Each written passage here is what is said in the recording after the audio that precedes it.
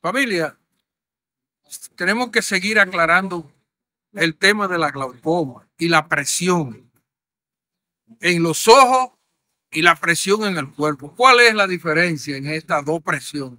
Ok, son dos cosas completamente diferentes. Estamos hablando de presión de su cuerpo, estamos hablando de su sangre, de presión adentro de los vesículos sangre.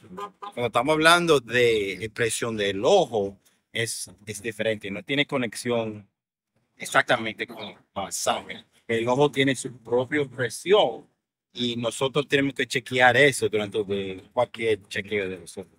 ¿Cuál es el, la presión alta en el ojo? Normalmente sobre 21 uh, eh, cogemos precaución que es porque la presión está alta, um, pero hay muchas razones por qué la presión puede estar alta. Es decir, hay un, un nivel en que el ojo está recibiendo una presión. ¿Y cómo se mide eso? Durante un chequeo, um, nosotros tenemos dos maneras diferentes que nosotros estamos haciendo en nuestra oficina a ver dónde está. Es como siendo 21, más de 21. Nosotros queremos un número entre 10 y 21. Exacto. Pero para que ustedes tienen, hay mucho más de presión del ojo, porque yo tengo pacientes que tienen presión de 9 y para ellos eso es demasiado alto. Oh, y yo tengo pacientes que tienen 23 y para ellos eso está bien.